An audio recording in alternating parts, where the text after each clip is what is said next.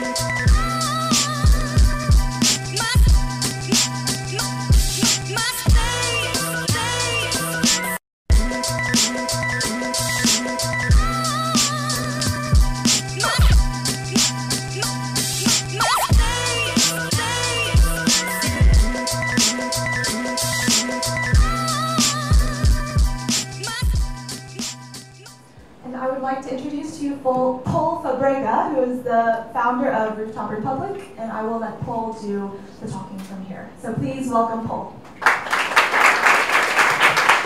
Thanks. Thanks, Diana, and everyone uh, behind screen uh, mornings and, and Society for, for having me. Uh, I gotta tell you, I'm not a morning person, and seeing so much action before 9 a.m. is amazing. So uh, I had my double espresso already, so hopefully I should be I should be good. Uh, but this is not my normal uh, preferred time of the day. Um, so yeah, my name is Pol Fabrega, and I'm uh, one of the co-founders of Rooftop Republic a social enterprise that promotes uh, urban farming. Now, a little bit about myself. I am originally from Barcelona, um, and before moving to Hong Kong six years ago, I knew absolutely nothing about agriculture. I, I had no idea about how to grow our food, where our food came from, um, uh, and when I came to Hong Kong, I had the chance to connect with the organic farming movement in, in Hong Kong, and sort of that started me on a journey of commitment to, to urban farming.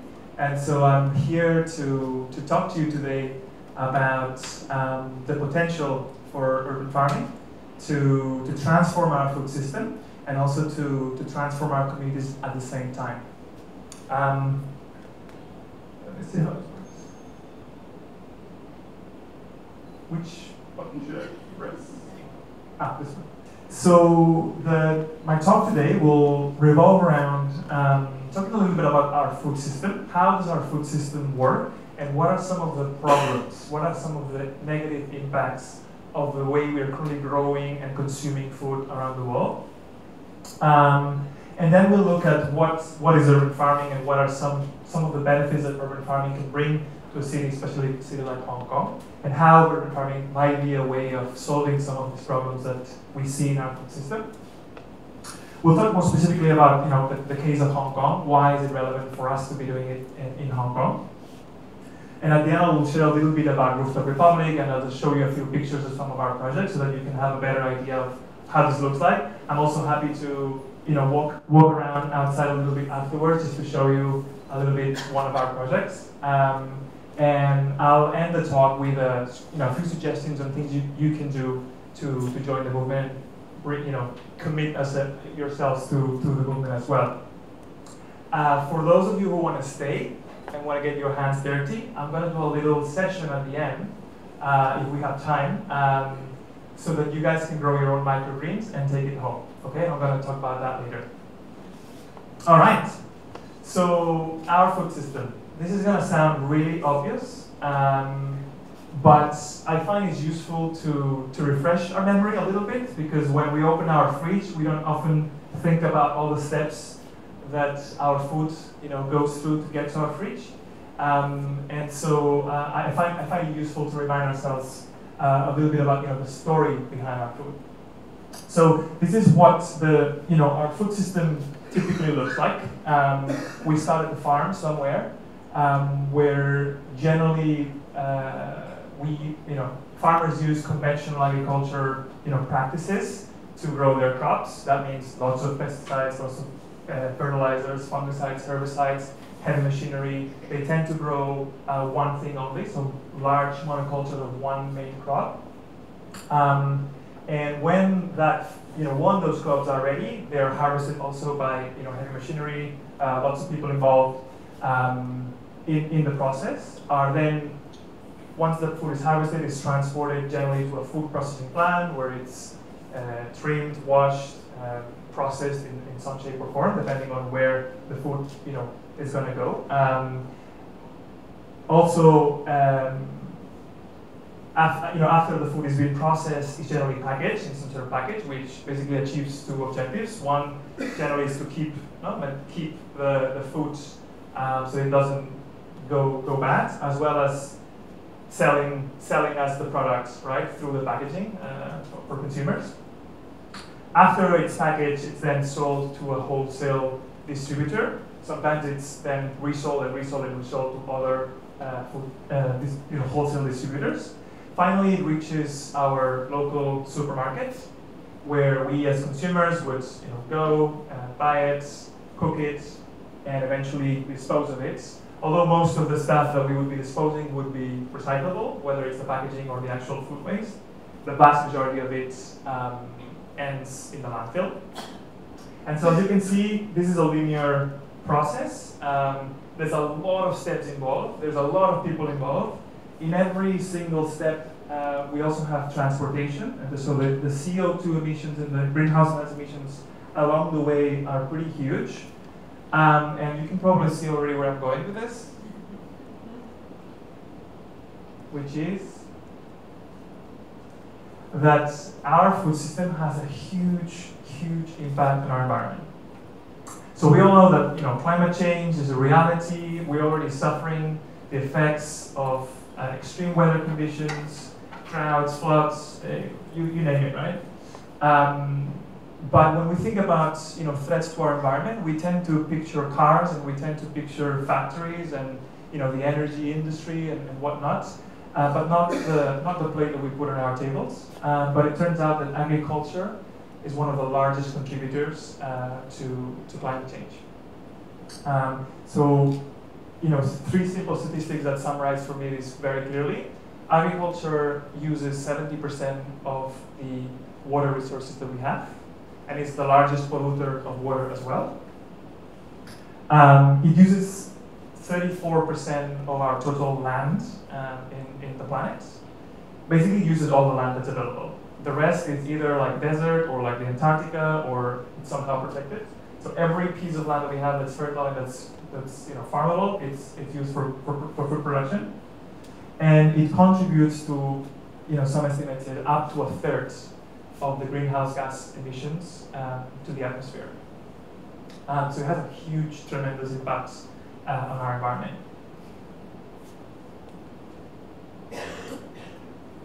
Apart from the environment, like what else, you know, what else is wrong with our food system?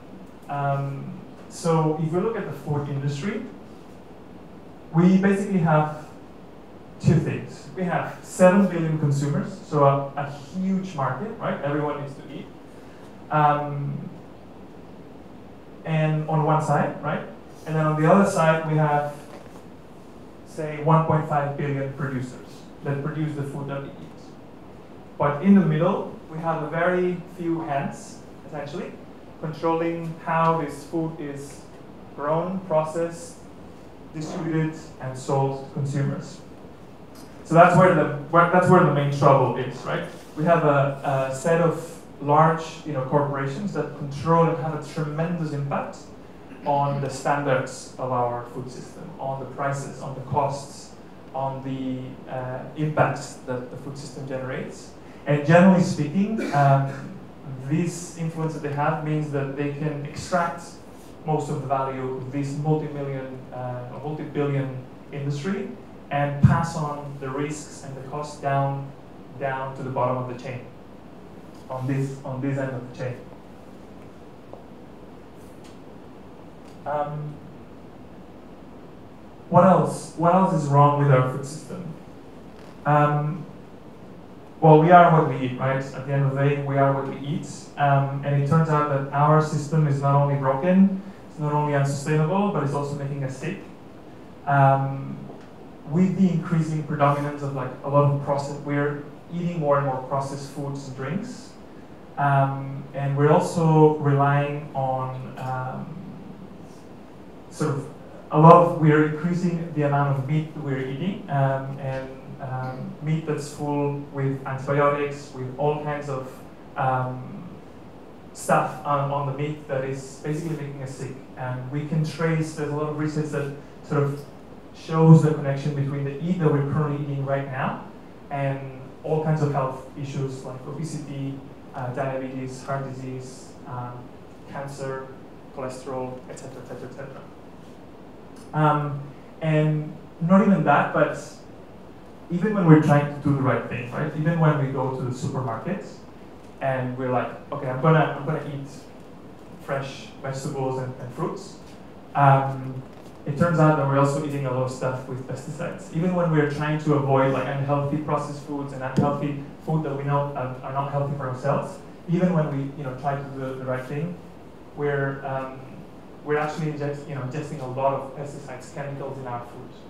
Um, this is you might be familiar with this list. It's called the dirty the dirty list, uh, and it's sort of uh, produced every year, published every year, and sort of basically sort of lists out what are the dirtiest vegetables and fruits that we get in the supermarket, what are the cleanest ones.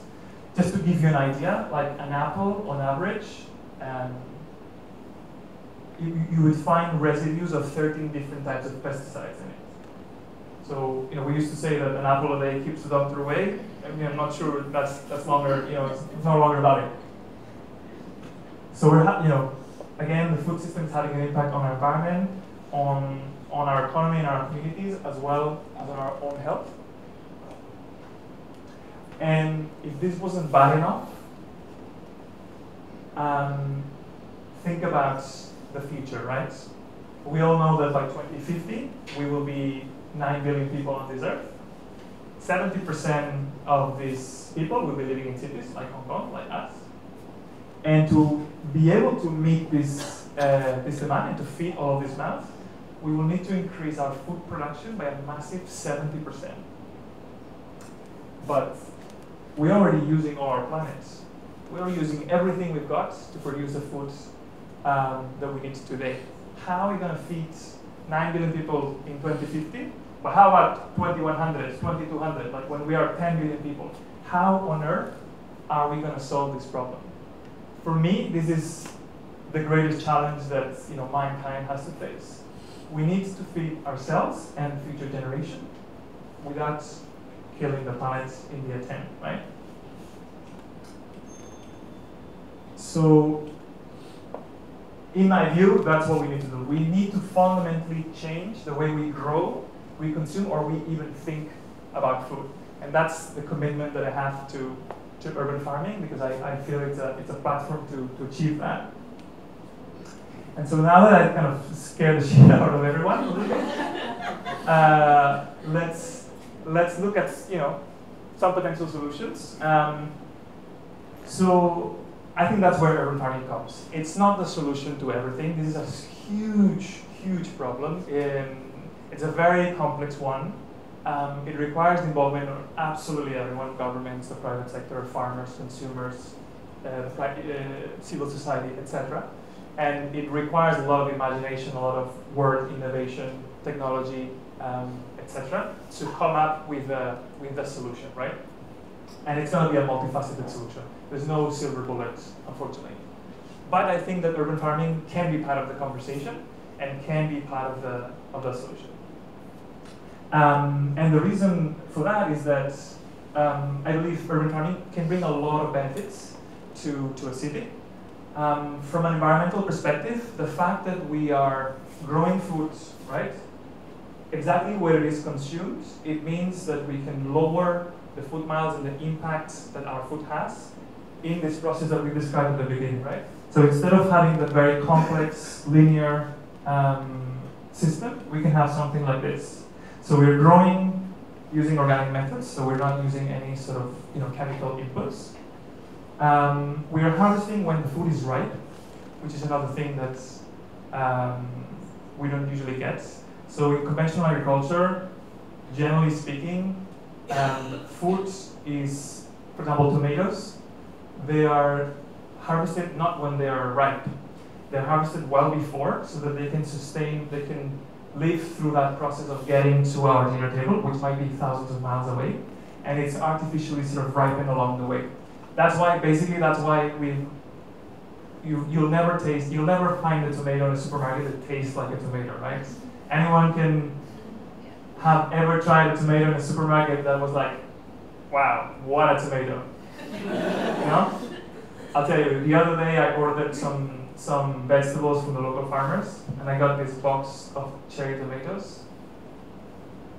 Put one in my mouth, bite, it's just an explosion of flavor.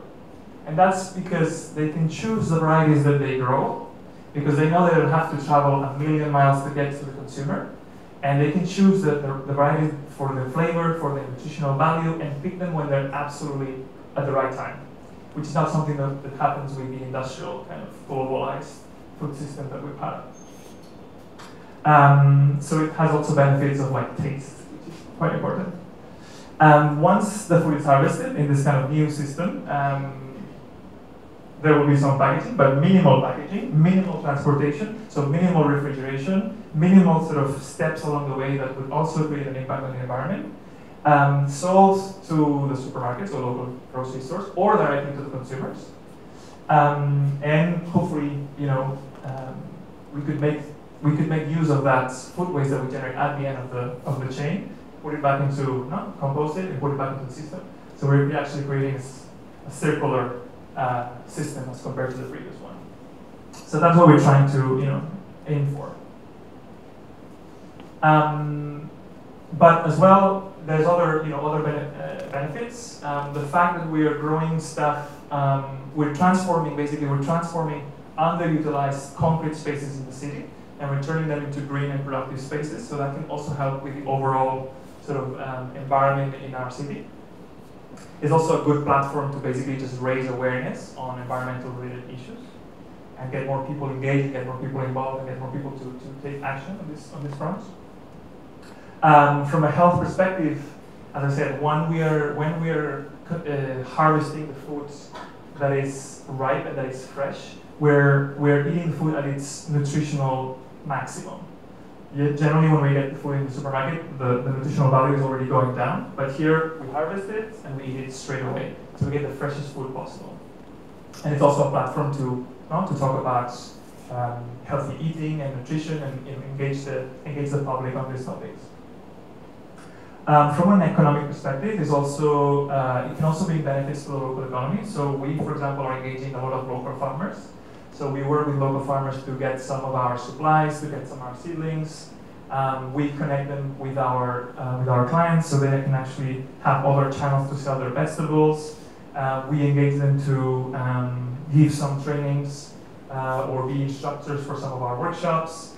Um, so we are creating a local, you know, local economy around local food production that can be, can be beneficial for, for Hong Kong.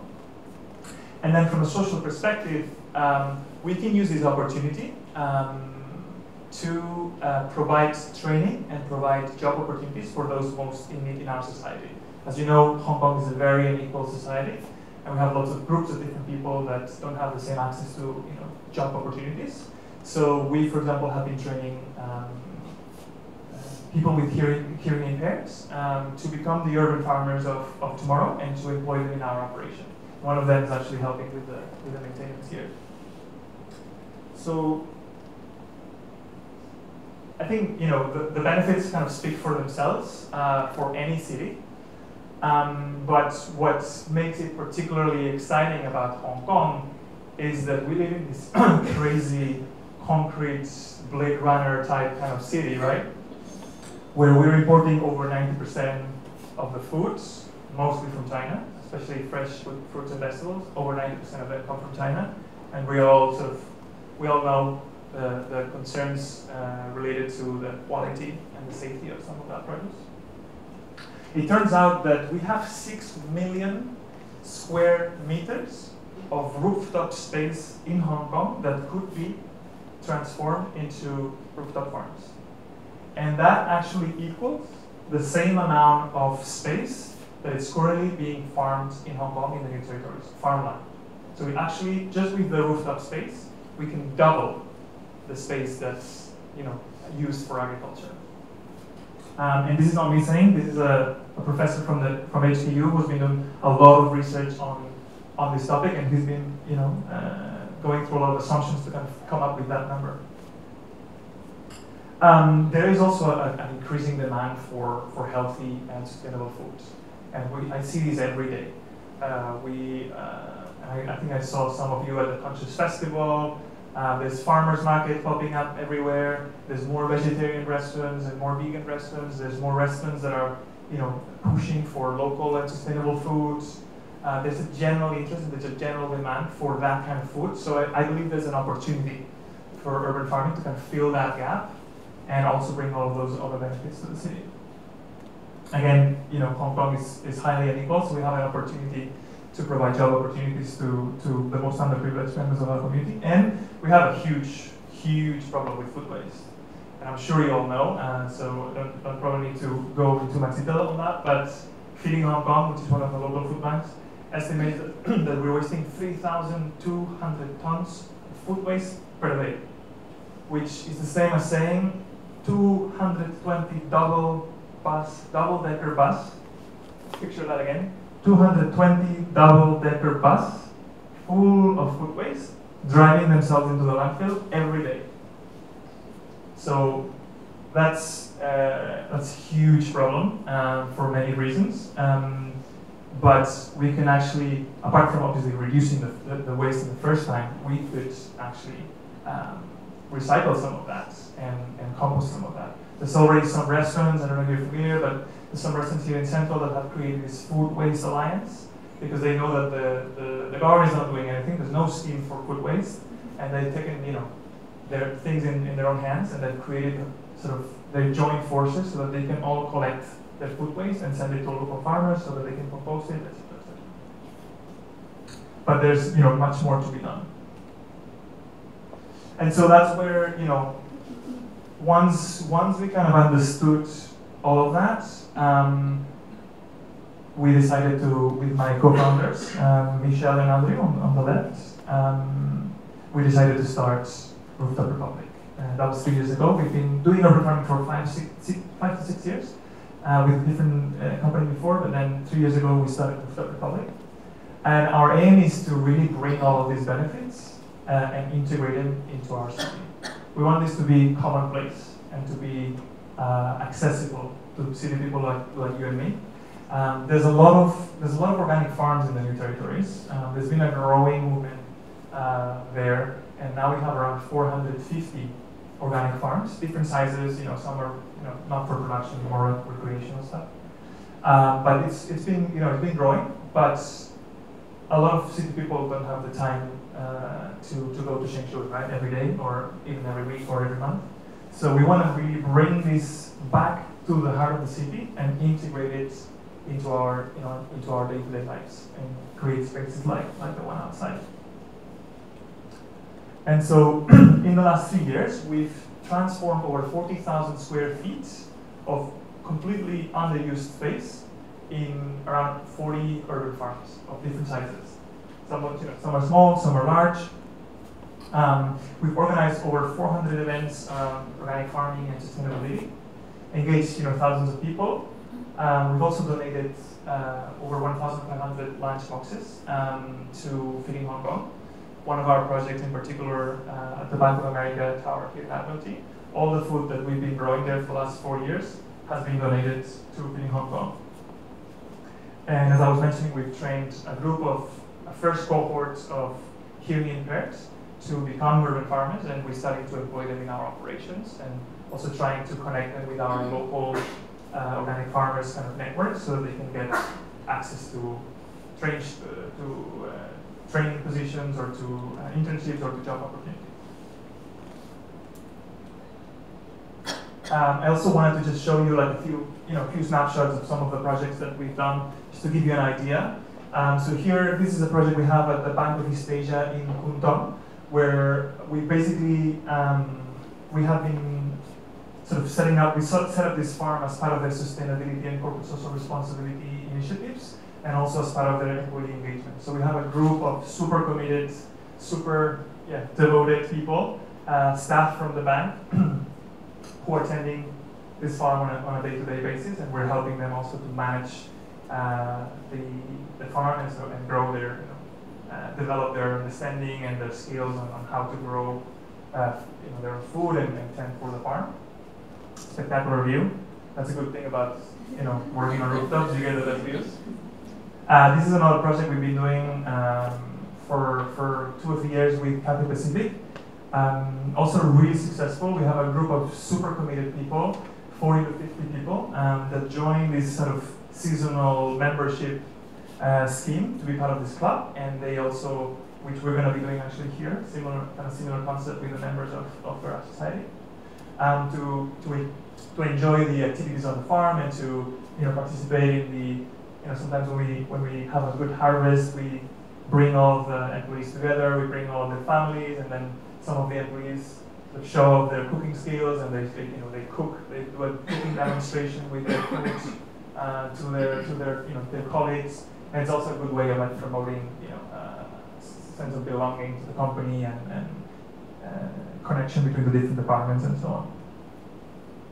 This one is the project that we have here, uh, the Bank of America, the one that I mentioned that we've been uh, donating all of the foods uh, to feeding Hong Kong. So here we've been selecting varieties of crops that are, you know, more suitable for the local uh, beneficiaries that we that we will be serving.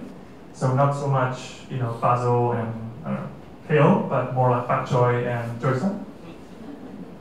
Um, but this, this has been a very sort of a very iconic project for us just because it's literally in the middle of the financial district. You have the view of the harbor, the banks of China, you know, HSBC, like everything around, and there we are. This actually former helipads, uh, de- decommissioned helipads, growing, you know, growing vegetables. So it's pretty, it's pretty stunning. This is another project we've done at the uh, in Taikoo um, uh, for Swire, and they have this uh, this space here that they call the sustainability corner. We have a huge composter where they're um, composting food waste from the restaurants in the in the shopping mall, and they have a lot of, a lot of recycling facilities over there and sort of panels of information about the uh, Swire's commitment to sustainability. And we've set up a green wall and a, and a, a herb garden, and we're engaging not only the staff from Swire, but also uh, members, like tenants of these buildings, to participate in, you know, in regular, uh, in regular activities at the farm.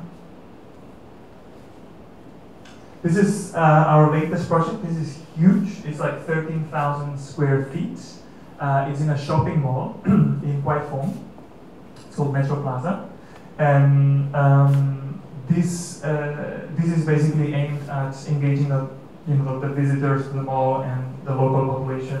We're also bringing schools and all kinds of community uh, groups to, to the farm to conduct you know, all kinds of activities related to, to organic farming.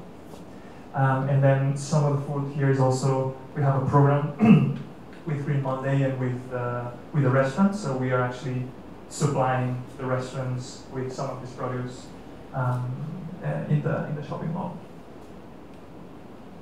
This is a different kind of project we've done um, in Changsha in China, where uh, it's more of a residential project. So this is part of their clubhouse. So the same way you know residents would have access to I don't know the gym or the pool, we have a, a rooftop farm that we've designed, um, and we've integrated like the whole like landscape. Here we were able to come in at the design stage, so we were able to you know set up like a, a workshop area and an open sort of outdoor kitchen and like some landscaping and then some some farming and it's part of their part of their concept of the of the residence that they've just uh, built.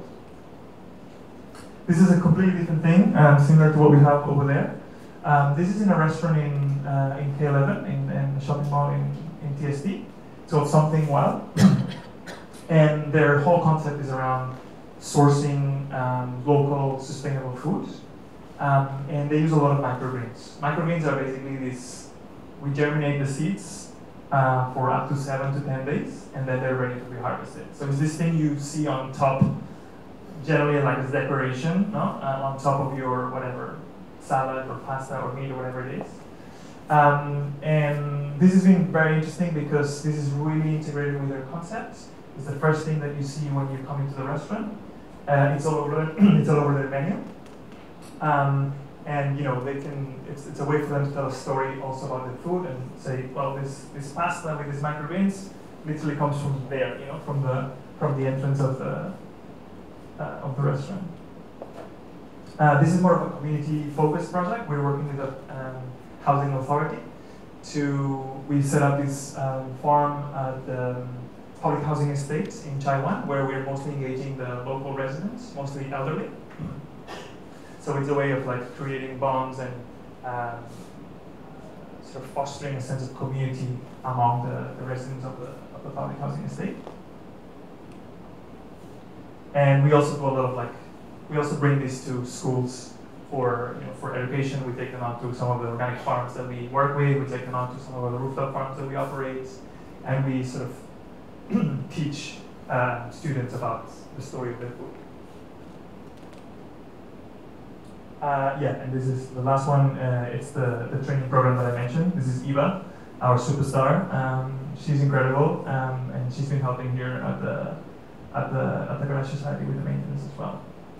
So, uh, you know, after this kind of little overview of uh, of our food system, of you know what is wrong. Basically, our food system sucks, and we need to do something about it. And I think urban farming allows us for an opportunity to to to act on it. Um, and I wanted to suggest a few ideas so that you can take, you know, take them home and, and see if you'd like to, uh, to explore them.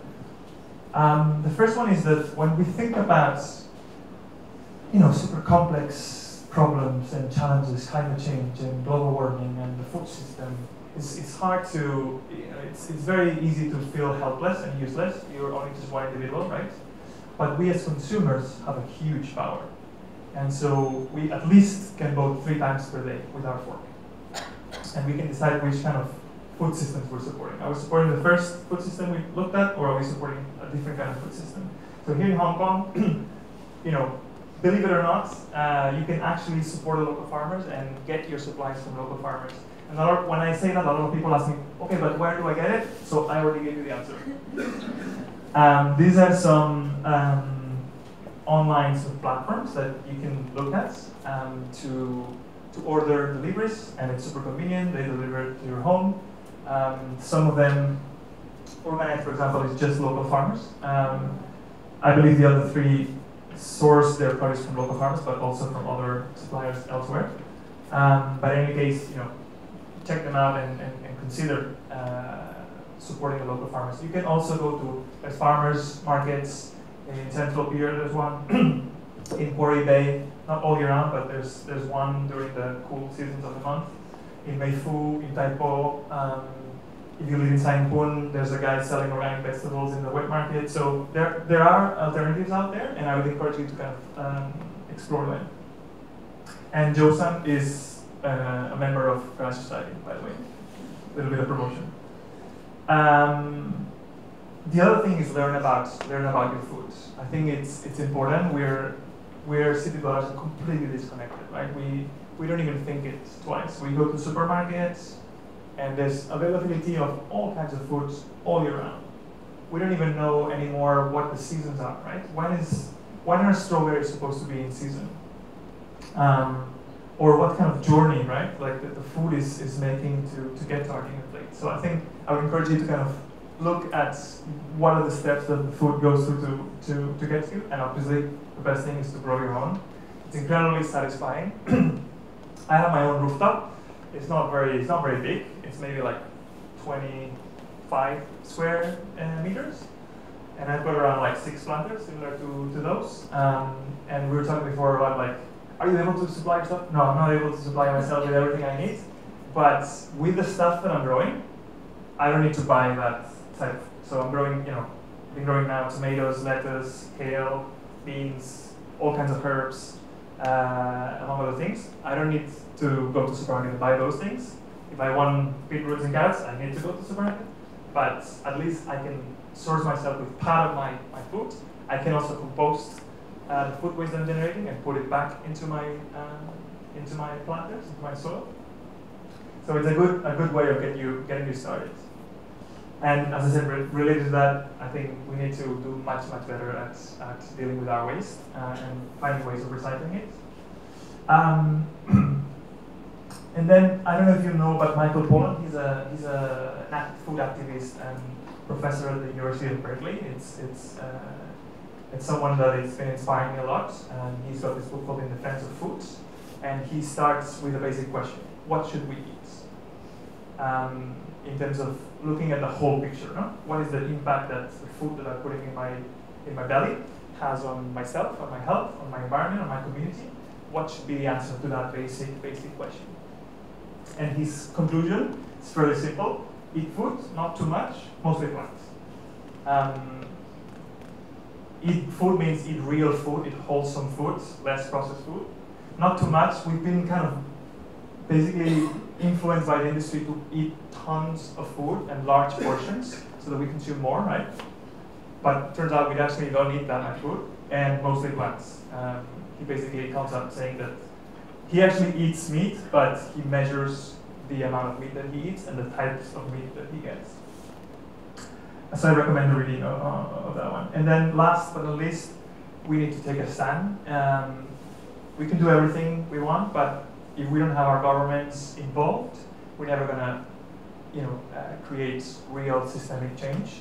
So, um, and I think that the government here is, is lagging behind a little bit. Um, so there's a lot of opportunities for us to push the government to, to do more. Um, I had a meeting with some officials recently, and I was quite encouraged in one way. Um, they said that in their new 2030 strategy for Hong Kong, which is a, is a document that you can all access online, it was the first time that urban farming was mentioned. So there's some language there that has been already included in the strategy, which is a very good thing. But they're completely confused internally on who's supposed to take that on. Is it the land department? Is it the fisheries and agriculture department? Is it the buildings department? They have no idea. Um, and they said basically keep pushing us so that we get our act together. We're much better at reacting than, than at proactively, you know, promoting something new. So keep keep keep taking a stand and keep pushing us to, to do better, and we'll deliver. So I you know count on all of you to join the movement and, and take a stand as well. I hope that was somehow insightful, and I'm happy to take any questions. Thank you.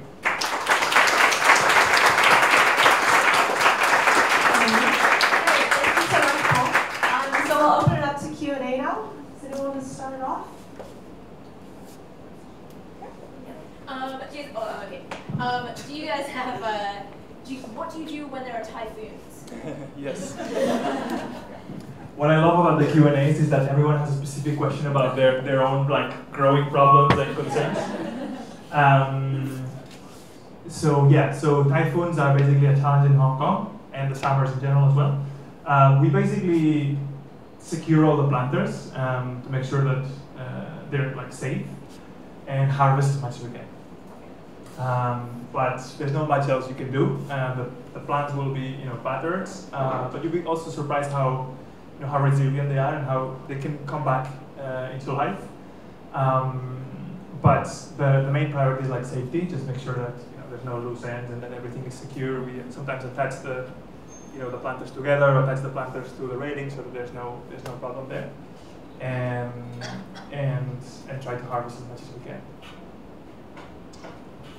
There's a one. Um, I, I was thinking about an interesting stat that said that like one third of the, uh, the question is basically about food waste, but uh, so, Yeah. Um, the stat says uh, one third of the agriculturally grown food goes to waste, and 80% of it goes to waste actually before the food even reaches the retail store. So like almost half of the food just never sees the retail store. And I was curious about like how much how much better is urban farming versus traditional farming at managing or like reducing food waste.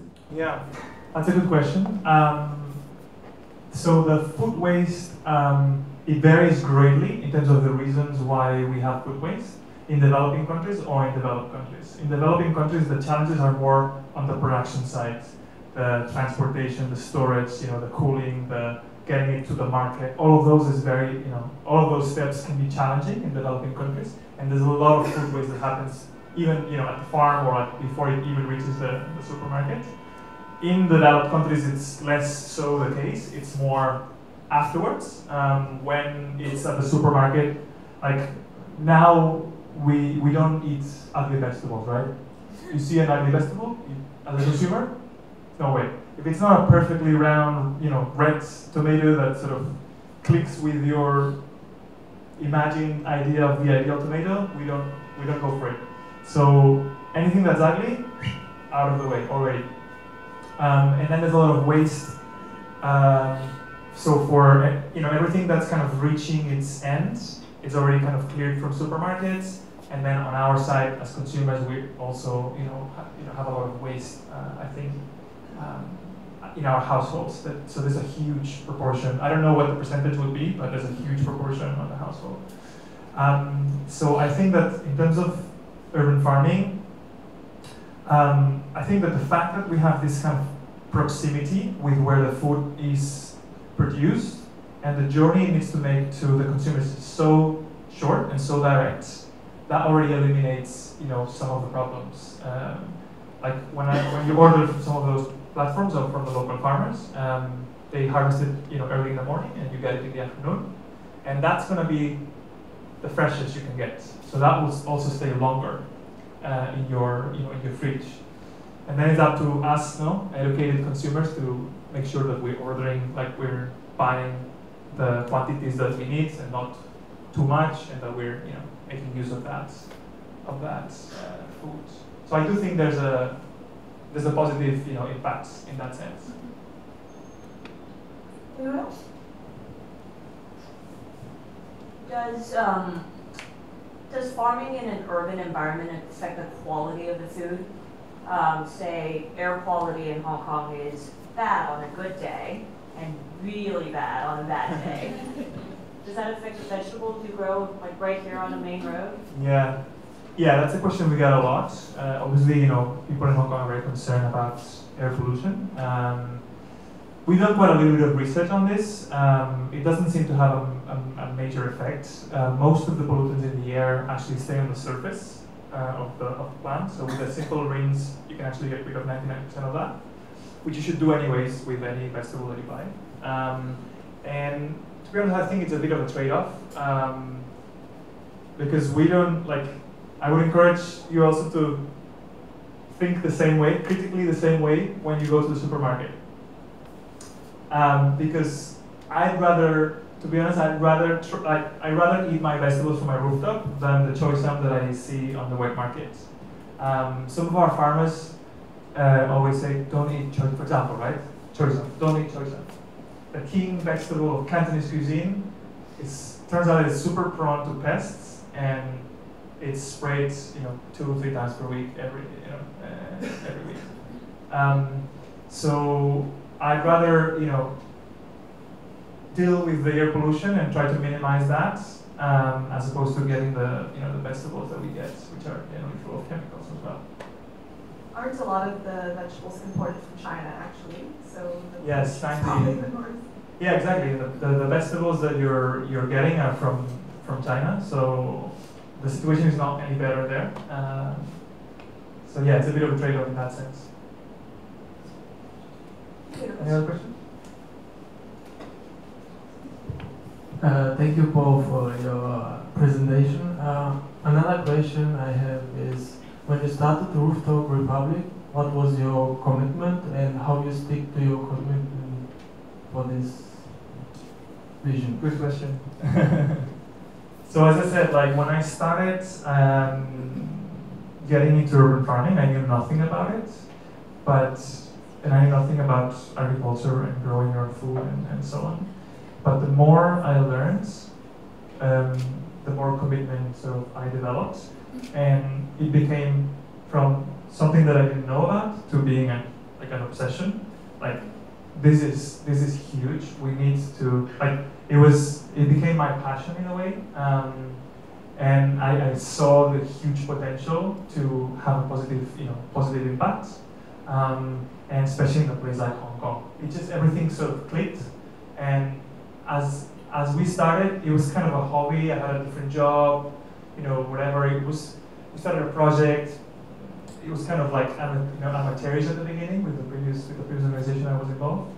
But then, as, as I said, like the commitment, the, the obsession, the, the knowledge, and the, uh, the, the, this potential that I was seeing sort of started to grow, um, and and I was like, okay, this is this is it, right? I'm, I'm gonna devote myself fully fully to this, and also my co-founders, we're all full time. We have five staff, so we're really, um, yeah, really really devoted to it.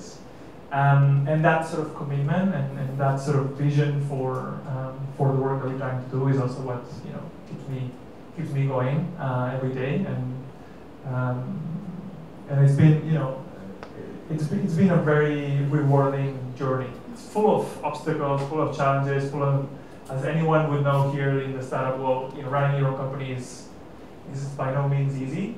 Um, and when we started, it wasn't there, there isn't even an industry for this. Like we are actually helping to create a new industry. So uh, we didn't know whether this was going to work. To be honest, this is gonna this is gonna fly. Are people gonna buy this? Uh, who's gonna be our clients? Um, you know, we didn't know. Uh, We had no idea. No business plan. No, you know, let's go. Um, but you know, the journey has been a, a very exciting one, and surprisingly enough, we've actually received a lot of like positive, you know, positive response from Hong Kong. So that keeps us going as well. Great, so I think we have one last question here. Thanks for a really inspiring but also informative talk. Uh, my question is just really simple, I guess. How do organizations get involved?